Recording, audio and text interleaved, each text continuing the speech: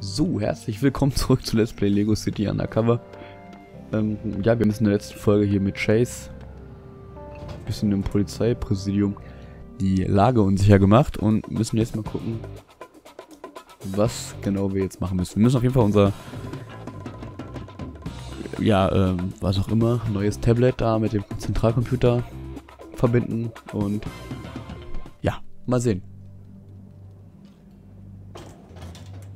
Lang, Chase! Jo, er ist einfach am Sprinten. Ja, wir poolen jetzt noch ein bisschen was kaputt und sammeln erstmal ein bisschen, bisschen von diesem. Was auch immer. So. Da bist du ja! Ab an den Zentralcomputer! verbinden. Kommunikator verbunden. Aktualisierung läuft. 1% abgeschlossen. Ja, kann Fortschrittsbalken. Hey, Frank! Jemand muss den Chief wecken gehen. Ich Ich arbeite wecke ihn zu ganz sicher nicht. Der feuert mich nur wieder. Ah, die Besprechung über Rex Fury wollte ich mir sowieso sparen. Hast du noch den Schlüssel zu seinem Büro? Ich hab ihn doch hier in der Hand, oder?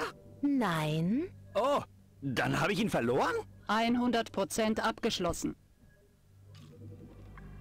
Ich helfe dir beim Suchen. Je früher der Chief wach ist, Achso, jetzt habe ich hier unten auf ich dem, auf dem Gamepad so eine Art Danke. Karte.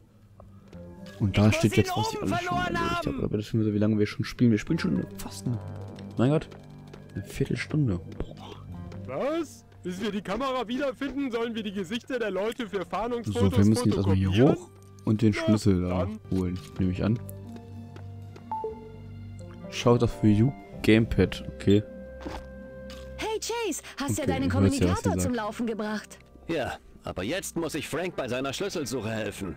Kein Problem. Ich habe die Software auf deinem Kommunikator aktualisiert und seinen Scanner aktiviert. Sein Bildschirm zeigt dir jetzt Dinge an, die du sonst nicht sehen würdest. Geister zum Beispiel. Das war dein Spiegelbild, Frank. Danke, Ellie. Diese irren, glubschigen Augen gehen mir nicht mehr aus dem Kopf. Ja, wir haben jetzt den Detektivscan freigeschaltet. Ich weiß jetzt nicht, wie der funktioniert. Aber wir gucken erstmal hier beim Büro des Chiefs. Mal sehen. Okay, Unfallursache. Du willst den Chief wecken? Okay. will ich hier drauf gucken? Ach nee, okay, super, das funktioniert alles so ohne. Wespennest für dich, in das du reinstechen könntest. Dann ist das natürlich alles super. Darf ich das machen? Ich weiß, wie Das das kenne ich, glaube ich. Das ist, glaube ich, auch Hatte bei Indiana Jones oder so. Gehalten. War es aber Oder irgendwie nicht. bei einem anderen Lego-Spiel. Hey, du hast ihn! Jawohl, Dann super. kannst du ihn ja wecken. Hab Dann holen wir mal eben den, den erledigen. Chief oder machen den mal eben wach. Videospiele! Woohoo! Wenn du Donuts suchst, dann am ehesten im Büro des Chiefs. Na Super. los, die Und Einsatzbesprechung, jetzt Chief. prügeln wir den einfach. Wachen was? Sie auf! Fünf Mal und der Tisch von ihm kaputt. Ich Y am Lego. Okay, dann versuche ich's mal mit richtig Getöse. Richtig Getöse. Aber wahrscheinlich können wir jetzt hier irgendwie daraus eine. eine, eine Dingens bauen. Ja, okay, oder ein Radio. Yeah, cool. Ich, ich habe nur meine Augen entspannt. Und meine Arme und Beine. Oha. Du schon wieder. Toll. Besprechungsraum. Eine Minute.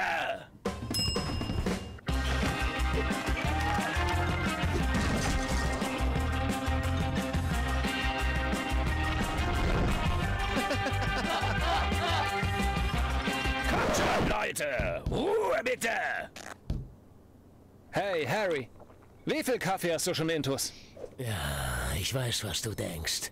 Waren es sechs oder doch nur fünf? Nun ja. Okay, auf jeden Fall genug. Ich komme direkt zur Sache. Die Bürgermeisterin glaubt, dass wir nach diesem Mann fahnden sollten. Rex Fury.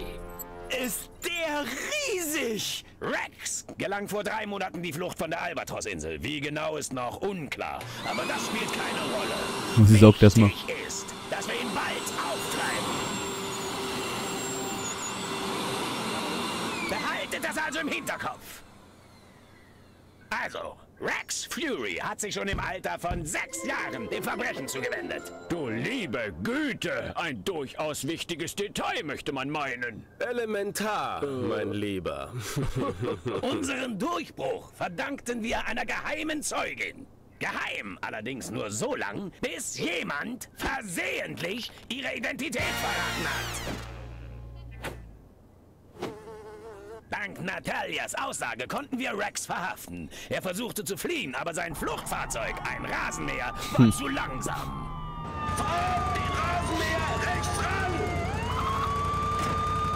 Außerdem hat er den Mann unterschätzt, der ihn schließlich dingfest gemacht hat.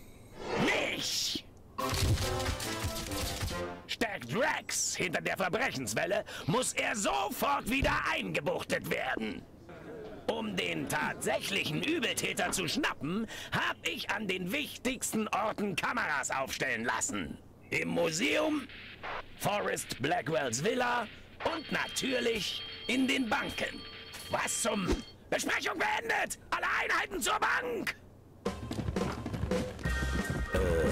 Ich hätte da noch eine Frage, Chief.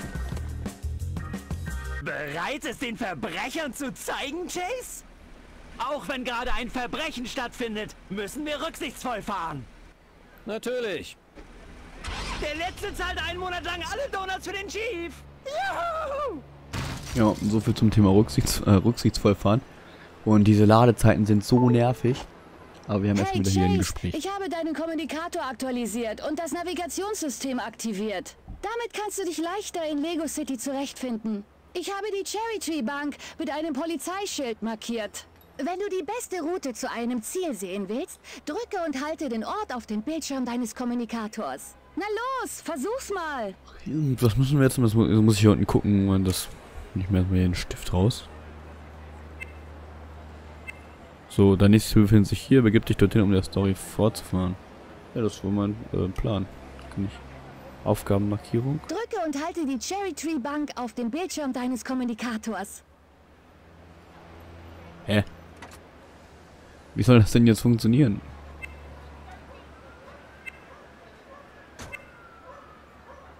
Denk dran, die Cherry Tree Bank ist mit einem Polizeischild auf deiner Karte Also- markiert. Ahnung, ich drücke gerade hier drauf, drücke und halte. Also jetzt habe ich das hier Drücke und halte die. Perfekt! Folge jetzt einfach der grünen Linie. Ähm, okay, ich habe das gleiche gemacht wie vorher. Aber okay, alles klar. Freigeschaltet, Navigation, super. Ähm, so, jetzt steigen wir erstmal hier ein. Und was ich noch sagen wollte, es ist richtig nervig. Die Ladezeiten, ich schneide die einfach alle raus. So, die jetzt müssen wir bitte? schon das, das erste Verbrechen bekämpfen. Und welche Clowns, die in der Bank da ihr Unwesen treiben. Hier mal zur Seite, Mensch. Du lahme Ente. Noch driften? Jawohl. Ist das die Bank? Scheint so, ne? Oh, direkt, direkt drin. So. Super.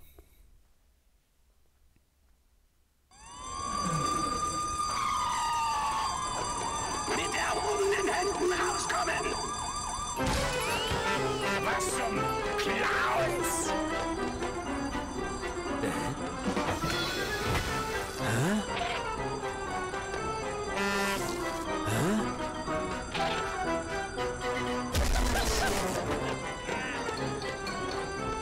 Verfolgt diese Witzfigur! So, und jetzt laufen sie alle auseinander und wir müssen den ersten Clown verfolgen. Dann das Lito reinballern, ne? Dann müssen wir den rammen oder was? Ja. Okay, der hat vier Leben. Jetzt nur drei und ich habe mich verfahren. Ist das hier? Ein Basketballfeld? Boah, wir können richtig viel entdecken hier. Oh Gott, ich bin hinterher. Schau mal das Auto des Fluchtfahrzeugs. Äh, des Fluchtfahrers. Boah, shit. Was? Der ist ganz schnell, ja, ja, mit seinem was auch immer. Geld verlieren tut er auch. Jetzt haben wir ihn, glaube ich, gleich. Ich kurz für mein Nitro da und dann kann ich mir mal hinten reinfahren. Das ist ein Sinn des Spiels. Aber egal, wir haben's. Oh, voll die Explosion, Alter. Feierabend. So, was ist los? Muss ich den einschnappen, oder was? So Flugfahrrad, zu Fuß, Fahrrad. Hier ist er doch. Ich bin unter tot. Die Frage ist, was, was macht der? Wahrscheinlich muss ich aussteigen. Halt! Oder ich laufe wie dir ich weiter den? hinterher.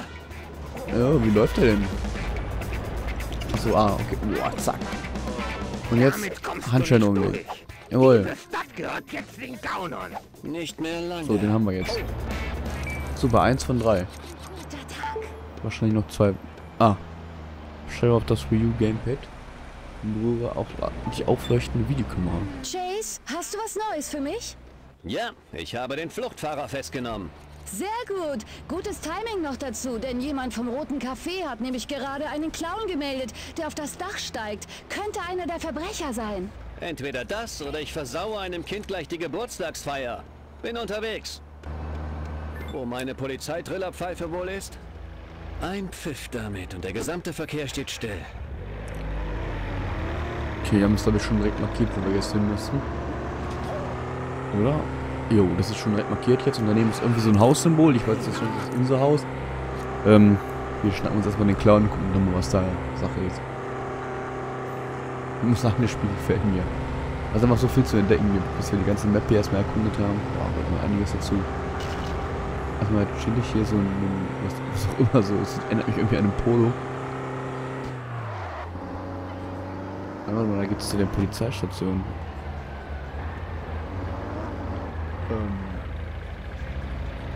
Da haben sie wahrscheinlich den Clown gemeldet. Da ist nämlich dieses Symbol. Das Haus ist ja übrigens die Polizeistation. So, erstmal aussteigen, ein bisschen, bisschen Kohle einsammeln. So, wenn ich jetzt hier als Zivi rumlaufe. Hey, alle mal herhören. Ist irgendjemand hier zufällig ein Clown-Bankräuber? Okay, oh es juckt also wäre kein- ja auch zu einfach gewesen. Ich kontaktiere wohl besser Ellie. Ellie, hier ist kein Clown in Sicht. Keine Sorge, ich habe gerade die Scan-Software deines Kommunikators aktualisiert. Ach Mensch, na dann. Benutze sie, um dich vom Dach des Restaurants aus umzusehen. Sie wird dir als Räuber verdächtigte Personen anzeigen. Und dann? Nimmst du sie fest? Ja, jetzt können wir das ja noch benutzen, dieses Scan-Ding. Und das mit dem iPad machen. Und ich sag mal iPad, Mann. Achso. Oh, was muss ich jetzt... Boah, shit, Alter.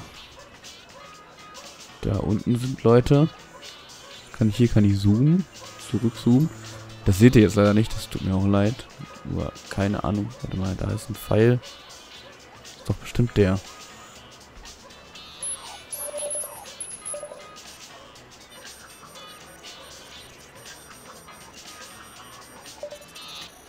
Okay. Ich habe ihn gescannt. Denk dran, die rote Markierung ihrer Karte das Video ganz Zeit an, dass der Räuber sich versteckt oder versucht zu entkommen. ja, der wird sich wahrscheinlich verstecken. Mal ein bisschen Leben in diese Betonwüste bringen. oh, so gefällt's mir.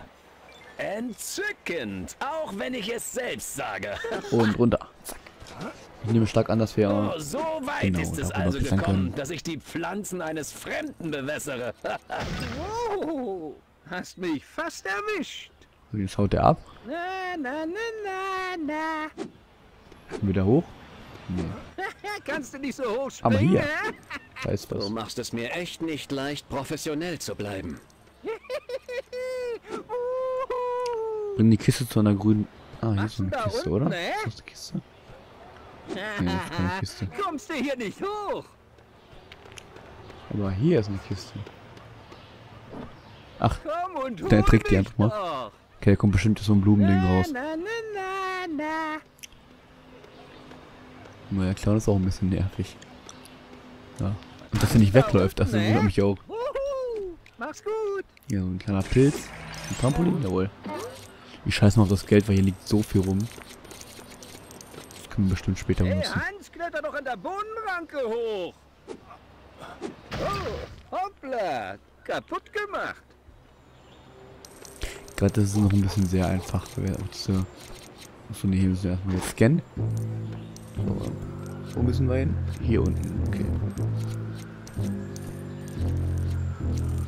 Mit Geld wird man auch hier echt zugeworfen. So, was haben wir hier? Ein, ein Rad für, für das Wasser. Und der macht da bestimmt jetzt Pflanzen hin. Das müssen wir kaputt hauen.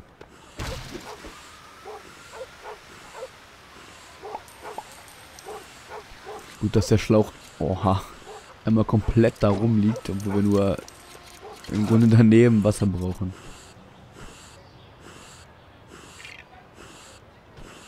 Irgendwo hängt bestimmt das Wasser. Hier? Nee. Hier unten? Ah, hier aber bei der Tonne hängt's.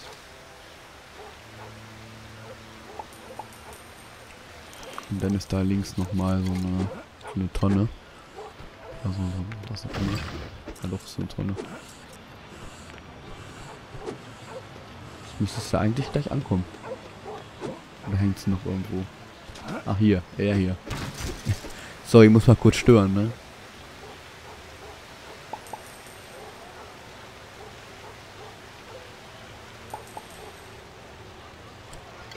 Super, jetzt kommt hier, ganz, hier noch ganz viel Geld raus.